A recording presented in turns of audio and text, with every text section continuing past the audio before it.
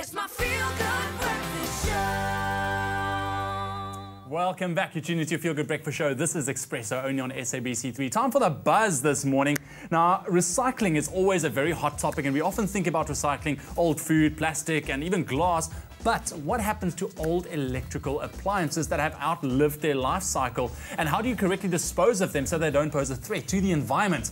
Well, here to tell us more about the importance of e-waste management is Suzanne Dittke. She's the director of EnviroSense. Suzanne, good morning. Welcome to Expresso. Good morning. Thanks for having me. Very interesting topic because all of us at home somewhere has got old keyboards, old computers, old wires, cell phones. So, so does that classify as e-waste? Well, by, by definition, e-waste is anything that runs on electricity or on a battery, and it can still be in use or it can be not in use because sometimes you perceive it as being outdated, like Yes. your old phone. That is what I found in my in my play in my home today, and you know it still works perfectly. But I have But I mean, another you- you latest use model, it. so for me, that's e-waste. Yes, Yeah. exactly. So, and I mean, like we say, it does pose a threat to the environment Yeah. if not disposed of correctly. So, so mm. what are some of the things that you can do with your e-waste?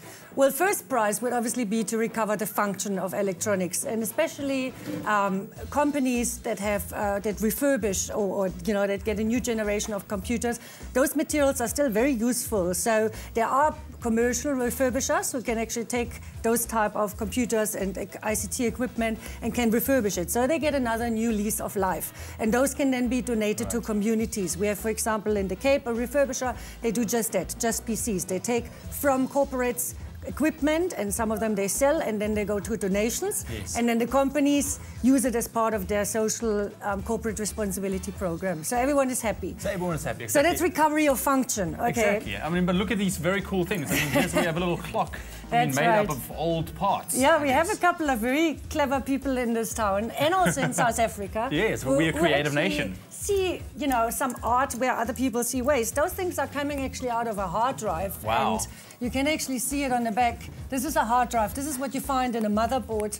Um, this is where the memory is stored. Now you're adding a couple of numbers on it. That's amazing. and a couple of uh, uh, markers, and you can sell it as a clock. Obviously, it takes a little bit more than that, but that is Exactly. really added value. But this is a great way to, to Yeah. use your old e-waste if you can get creative. Or making key rings. Now, obviously, that will not solve the e-waste problem. This is a nice have Yes. to, okay?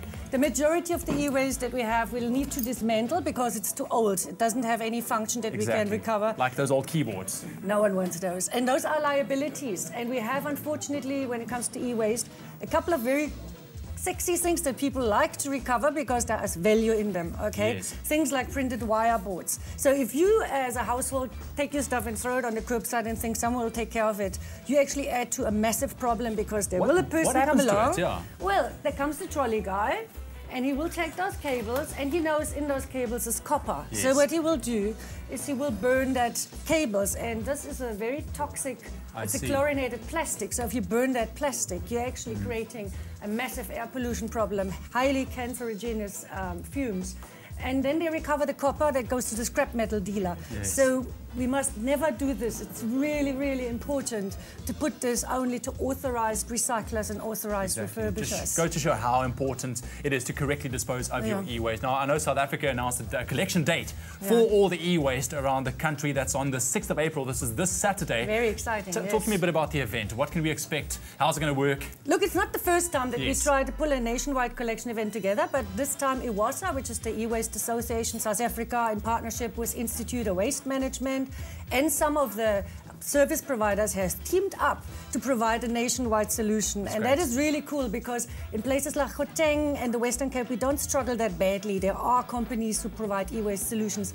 But you look further up Northern Province, it really is a problem. So what we decided and what eWASA decided was to work with existing service providers, including some of the retailers like Pick n Pay who offer on a daily basis take-back solutions for batteries and cartridges Makro, incredible connections. All those places actually offer um, those take-back facilities on a permanent base uh, in all the stores, but people are not aware of it. That's the biggest problem. So what we're trying to say is we actually work with the existing drop-off solutions and existing drop-off partners just to crea- create awareness that we actually do have solutions available. So that's the importance of a day like Yes. Saturday for the whole 6th collection. of April. So go to your garage and you know you'll find things like this. One hit wonders. Someone gives Little this to you as a little toy and and you look at this and think, this is fun, like for one night out, and then it lies You've, around. you've used it once and you've never used it This again. This is e-waste. This is designed for the dump. So we must actually stop buying stuff we don't Exactly. need with money we don't have that just becomes Yes. waste and doesn't really fulfill any other function than a